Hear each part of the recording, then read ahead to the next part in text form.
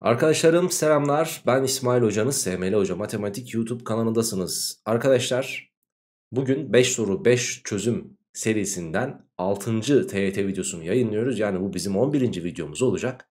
Birbirinden güzel tam olarak sınav ayarında yani TYT'de veya MSÖ'de çıkma ihtimali yüksek olan sorular seçtim arkadaşlar sizler için. 5 tane TYT sorusu çözeceğiz bu videoda. Dilerseniz vakit kaybetmeyelim de o güzel soruları bir görelim bakalım. Evet bize ilk soruda demiş ki bu arada Metin yayınları TYT soru kitabından aldığım bir soru arkadaşlar. ABC birer gerçel sayı olmak üzere AB'den küçük ve B de C'den küçük ise mutlak A küçüktür mutlak C önermesi veriliyor. Buna göre aşağıdakilerden hangisi bu önermenin yanlış olduğunu gösteren bir örnektir diye sorulmuş. Bakın aslına bakarsanız bir önerme sorusu ama bu önermenin biz yanlış olduğunu dile getireceğiz. Şimdi biz bu önermeyi iyi, iyi özümsememiz gerekiyor. Yani nasıl iyi özümseyeceğiz biz bunu? Bir önerme, bir soru nasıl iyi özümsenir? Şimdi burada Türkçe olarak vermiş bu ifadeyi. Biz neye alışkınız arkadaşlar? Bunun sembolik mantık biçiminde gösterimine alışkınız. Yani şu gösterimi. A küçüktür B ve B küçüktür C ise sevgili arkadaşlarım mutlak A küçüktür mutlak C. Biz buna alışkınız. Şimdi gördüğünüz üzere ortada bir ise bağlacı var ve ana bağlacımız burada bu. Ve bunun da sevgili arkadaşlarım ne olmasını istiyor? Yanlış olmasını istiyor. Şimdi ise bağlacının sevgili arkadaşlarım sonucunun yanlış olabilmesi için şu kısmın birken şuranın sıfır olması gerekiyor. Peki şimdi sol tarafa bakıyoruz. Buradaki bağlaç ne? V bağlacı. V bağlacının sonucunun 1 olabilmesi için şunun da 1, bunun da 1 olması gerekiyor. Yani burada sevgili arkadaşlar A B'den C'den küçük olacak. Fakat fakat mutlak A mutlak C'den büyük veyahut eşit olacak arkadaşlar. Neden? Çünkü mutlak A mutlak C'den küçüktür ifadesi eğer yanlış ise bunun doğrusu nedir? Büyük veya eşit olmasıdır. Pekala. Şimdi şu şart sağlanacak. A küçük B küçük C. Bakın 2 5'ten 5 de 7'den küçük. Güzel. Bu bundan bu da bundan küçük. Bu bundan bu bundan küçük. Bu bundan bu bundan. Hepsi bak gördüğünüz üzere bir tek Edirne seçeneği bu şartı sağlamıyor. O yüzden bir tek onu eleyebiliriz. Bizim istediğimiz buydu. Güzel şimdi 4 tane şık bunu sağladı. Ama bizim sağlamasını istediğimiz bir durum daha var. O da hangisi? Mutlak A'nın mutlak C'den daha büyük veya eşit olması. Veya mesela bunun mutlak değeri bunun mutlak değerinden küçüktür. Bu gitti. Bunun mutlak değeri bunun mutlak değerinden küçüktür. Bu da gitti. Eksi 9'un mutlak değeri eksi 5'in mutlak değerinden daha büyüktür. Dolayısıyla cevap C. Bakın 0'ın mutlak değeri 7'nin mutlak değerinden daha küçüktür. Bu da gitti. Demek ki cevabımız C seçeneği olacakmış. Tam olarak TYT'ye veya MSV'ye yakışan bir soru sevgili arkadaşlarım. Geçelim 2'ye. Aşağıda bir binanın dairelerine ulaştırılmak üzere posta kutularına konulmuş toplam 11 tane zarf gösterilmiş ki 3-4-5 yayınları TYT Soru Bankası'ndan aldığım bir soru. Ve sevgili arkadaşlarım aynı zamanda bir küme sorusu. Şimdi posta kutularında gösterilen beyaz zarflar mektup ve sarı zarflar fatura. Bakın beyazlar mektupmuş, sarılar fatura. 3 tane bilgi verilmiş. Olduğuna göre demiş A fark B kesişim C kümesinin elemanları toplamı kaçtır diye soruluyor. Şimdi A fark B'nin içerisinde neler vardır arkadaşlar? A'da olup da B'de olmayanlar vardır. Şimdi şuna bir bakalım. Fatura gönderilen daire numaralarının kümesi A.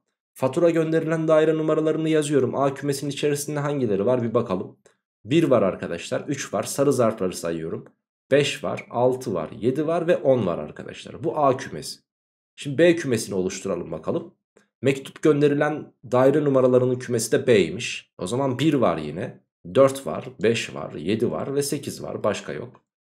Bir de arkadaşlarım çift numaralı dairelerin numarası da C'ymiş. O zaman C kümesi de 2, 4, 6, 8 ve 10'dur. Başka da bir eleman yoktur. Sadece çiftler bunlar. Şimdi A fark B, A'da olup B'de olmayanlar. Yani arkadaşlarım mesela 3 gibi e, veya 6 gibi bir de 10 gibi. Yani A fark B kümesi 3, e, 6 ve 10 elemanlarından oluşuyor. 3, 6 ve 10 elemanlarından oluşan bir küme ve bunun da C ile kesişimi yani şununla kesişimi. İkisinde de ortak olan elemanlar çift elemanlardır. Yani 6 ve 10. Elemanları toplamı sorulmuş. 10 ile 6'nın toplamı bize cevabı verir. Doğru cevap D seçeneği olur ki gerçekten ama gerçekten TYT'de karşımıza çık, çıksa hiç ama hiç şaşırmayacağımız bir soruydu. Geçelim 3'e. Yine 3-4-5 yayınları TYT soru bankasından aldığım bir soru. Tanım kümesindeki her bir elemanın değer kümesinde farklı bir eleman ile eşleştiği fonksiyonlar birebir fonksiyonlardır. İşte örnek olarak burada 1 4'e, 2 3'e, 3 5'e gitmiş. Hepsi de birbirinden farklı elemanlara gitmiş. Mesela g fonksiyonuna bakalım. 1 3'e, 2 de 3'e, 3 5'e gitmiş. 1 ile 2 birbirinden farklı elemanlar olmasına rağmen görüntüleri aynı olduğu için yani aynı elemana gittikleri için g fonksiyonu birebir değildir ama f birebirdir. Buna göre gerçel sayılar kümesinde tanımlı 3 tane fonksiyonumuz var. Hangileri birebirdir diye sorulmuş. Şimdi x kare fonksiyonu birebir değildir. Çünkü bu fonksiyon eksi 1'i de mesela örnek veriyorum 1'e götürür. 1'i de 1'e götürür. Eksi 1'in de karesi 1'dir. 1'in de karesi 1'dir. Dolayısıyla birinci öncül patladı ve 1 olanları silebilirsiniz arkadaşlar. x küp fonksiyonu 1'e 1'dir. Çünkü üstteki x karedeki durumları yaşamayız. Çünkü kuvveti tek. Ve arkadaşlarım zaten hali hazırda bu fonksiyonun grafiğini de sizin bilmeniz gerekiyor. x küp fonksiyonu bilmeyen varsa da öğrensin. x küp fonksiyonun grafiği şu şekilde bir grafiktir arkadaşlarım. Ve e, biz ne diyorduk? Birebir fonksiyonların grafiklerine e, eğer ki şu şekilde x eksenine yatay doğrular atarsanız bu yatay doğrularda eğer ki bu grafiği maksimum bir noktada kesiyorsa o halde kesinlikle birebirdir diyorduk. fx eşittir x de sevgili arkadaşlarım yine kuvveti tek olduğu için fx eşittir x'in grafiği de şöyle birinci açıortay doğrusudur biliyorsunuz 45 derecelik açı yapar. Ve aynı şekilde buna da paralel doğrular attığınız takdirde birer noktada keser. Yani bu da birebirdir. Hangileri birebirdir diye sorulmuştu. Cevabımız 2 ve 3 olacaktı sevgili arkadaşlarım. Devam edelim dördüncü soruyla. Evet yine 3-4-5 yayınları TYT soru bankasından aldığım bir soru. Beğendiğim de bir soru.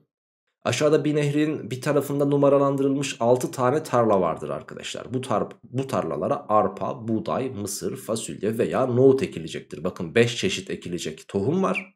6 tane tarlamız var. Nehre kıyısı olan tarlalarda farklı cinsten bitkilerin ekildiği bu işlem kaç farklı şekilde yapılır? Şimdi nehre kıyısı olan tarlalar sevgili arkadaşlarım 1, 3, 4 ve 5.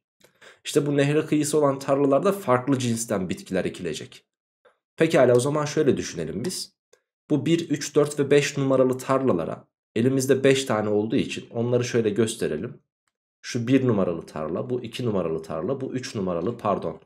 Ee, özür dilerim. Burası 3 numaralı, burası 4 numaralı ve burası da 5 numaralı tarla. Elimizde 5 tane ürün vardı. E, o halde 5 tanesinden birisi buraya. Artık bir tanesini kullandığım için 4 üründen birisi, 3 üründen birisi ve 2 üründen birisi diyeceğim. 2 çarpı 3 çarpı 4 çarpı 5 bize 120 sayısını verecek. Geriye kaldı 2 ve 6. Şimdi arkadaşlarım bunlara birbirinden farklı olsun gibi bir şart yok. Dolayısıyla sevgili arkadaşlarım çarpı diyeceğim. 2 numaralı tarlaya 5 üründen birisi 6 numaralı tarlaya da yine 5 üründen birisi olacak. Yani bizim cevabımız 5 kere 120 600 yapar. 600'e de 5'i çarparsanız 3000 gelir arkadaşlar. Cevabımız 3000 olacaktı. Doğru cevap C seçeneğiydi. Ve son sorumuz. SML Ocak TYT video ders kitabından aldığım bir soru. Kendi yazdığım bir soru. Dördüncü dereceden bir px polinomunun katsayılarının oluşturduğu küme p olmak üzere p kümesi 1, 2 ve 4 elemanlarından oluşuyor. p-2 ifadesinin değeri en çok kaçtır? Şimdi burada dikkat etmemiz gereken bir olay var şu. Şimdi dördüncü dereceden demiş ya örnek veriyorum. x üzeri 4 çarpı birini de gösterelim. Bakın bir kat sayısını kullandım. Artı işte e, 2x küp artı 4x kare. Şimdi dördüncü derecedendi değil mi? Ve biz arkadaşlarım bu şekilde oluşturduk. E, diğerleri de hocam olmasın diyebilirsiniz x üzeri 4 x küp x kare e demek ki burada x çarpanı veya bir sabit sayı yoktur denilebilir fakat şöyle bir durum oluşur o zaman. Şimdi eğer ben bunları yok sayarsam katsayıları bunların neydi? E sıfırdı hocam. E katsayıları sıfırsa o zaman bu kümenin içerisinde sıfır diye de bir elemanın olması şarttı. Çünkü şurada ben size şöyle bir soru sorsam. Şu polinomda x'li terimin baş katsayısı kaçtır? E sıfır. Peki o sıfır niye burada yok? Demek ki benim sıfır diye bir katsayım yok. O halde arkadaşlarım biz bunların her birini kullanmak zorundayız. Örnek veriyorum. Örnek veriyorum. 1'i 2'yi 4'ü kullandık ya. Bu 1'i 2'yi 4'ü tekrar kullanabilirsin. Burası 2 ve şurası da sevgili arkadaşlarım C'yi de 4 seçeriz. Bakın yine bu, bu bir polinomsa bu Px polinomuysa Px polinomunun katsayıları 1, 2, 4, 2, 4. Bunların oluşturduğu küme yine 1, 2, 4 kümesidir. Demek ki biz bütün, bütün katsayıları burada kullanmak zorundayız. O halde gençler şöyle diyeceğiz. P-2 ifadesinin değeri en çok kaçtır diye sorulmuştu ya. Ben bu Px polinomunda bütün terimlerin olduğunu bildiğime göre x üzeri 4, x küp, x kare, x ve bir de sabit sayı.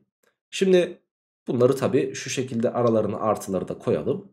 Bunların e, kat sayılarını şimdi keyfi olarak seçeceğiz. Tabi en çok kaçtır dediği için buna göre seçeceğiz. Mesela x üzeri 4 ben eksi 2'yi burada yerine yazarsam burası 16 gelecek. 16. Şurasına gelecek eksi 8. Burasına gelecek 4. Burasına gelecek eksi 2. Burasına ne geldiğini bilmiyoruz. Şimdi tabi burası negatif olduğu için ben bunun baş katsayısını küçük bir şey seçmem gerekiyor ki daha az azalsın. Demek ki o zaman bunun başına ben 1 yazacağım. Daha sonrasında tabi buraya da 1 yazıyoruz. 1 kere eksi 8 oldu artık orası. 16'nın başına büyük bir şey yazmam gerekiyor. Mesela 4 gibi.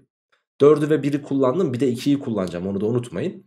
Şimdi 4'ün başına ben yine 4'ü kullanmak istiyorum açıkçası. Hani daha da büyük olsun diye. Eksi 2'nin başına yine 1'i kullanmak istiyorum. Daha az azalsın diye. Ve sonuç olarak da artık burası 2'yi de kullanmak zorunda olduğumuz için 2'yi de buraya yazabiliriz. Sonuçta 2 bile arttırıyor yani bu polinomun sonucunu. 4 kere 16 64. Bakın şurası eksi 8. 4 kere 4 16. Eksi 2 ve artı 2 var. Eksi 2 artı 2 birbirini götürdü. 16 eksi 8 daha 8 yapar 64 8 daha da sevgili arkadaşlarım bize 72 verir bu da bize D seçeneğini gösterir. Evet gençler 5 soruyu çözdük videonun sonuna geldik. Bu 11. videoydu ve 5 soru serisinin devamı için arkadaşlarım sırada AYT videosu var. O videoda görüşürüz. Hoşça kalın, sağlıkla kalın ve tabii ki bol bol matematik çalışmayı da lütfen unutmayın.